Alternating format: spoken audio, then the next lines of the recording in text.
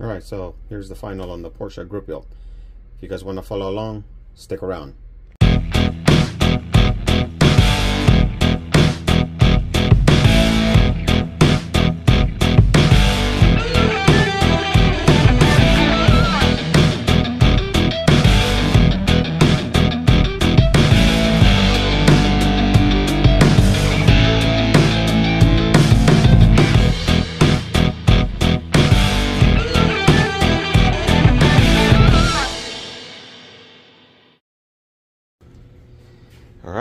So we have the body, inner top, and chassis all primered up for the Porsche.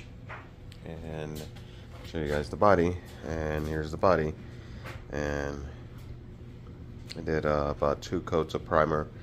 And you can still see a little bit of red bleeding through. So we might have to use um, some black and just kind of hide some of the extra red that's coming out.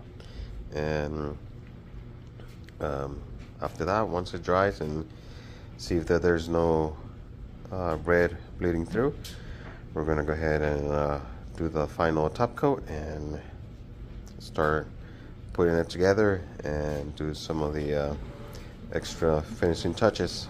And uh, but so far it's looking good Okay, so we have the body and paint, and this is a metallic silver. Uh, it's a regular Rust-Oleum uh, spray can from um, Home Depot. And the interior, uh, we did uh, kind of like a mocha brown, so or caramel, and uh, yeah, that's um, so I shot. I did black and just did um, over it. So it kind of looks like it's worn out um, kind of like a black wash. It almost looks like it's got black wash but no that's just uh, when I sprayed it it gave it that look of you know the leather in certain areas and kind of worn out. See that's perfect. That's what the look I was looking for. You see how the bottom of the seat looks like it's worn out? So and then the top one um, so it's it's got some some issues some weather. So it's, it's coming along pretty nice. The the chassis it's it's done. So I'm just um, waiting for a few details to highlight. And um, just tight and I will show you guys the final. Okay so here we go. So as you can see it's not your normal typical uh, Porsche 911 um, so what I did is I turned it into a sci-fi because no instructions, no wheels, and it was just pretty much a, a parts kit. So this is what I did. So uh, what I did uh, here, it's uh, I put this little capacitor type of thing. Um, I got it from my son's uh, toy box. Hopefully he, um, no, I actually asked him, hey, do you have any stuff that you don't need? So this was a uh, backpack from a Fortnite action figure. This section here was um, like some uh, electrical stuff that I had in the garage and then some wires um, that replicate that's, you know, sci-fi. Um, something that's making it uh, like a power source type of thing. So underneath, uh, again, I, uh, this part, it's another um, Fortnite backpack action figure type of thing. And I just incorporated into the engine. Uh, there's the other electric part. Uh, those little blue things that you see, um, they're uh, headphone or ear pieces. And that one says right, and it's on the right side, and that one's left for the left side. And those are just headlights that I just glued on, and it kind of went with the theme. And let me back up a little bit. And those are just your uh, yogurt squeezable tops that I use for uh, hover and the electrical piece is just something that I had a, um, on my other job.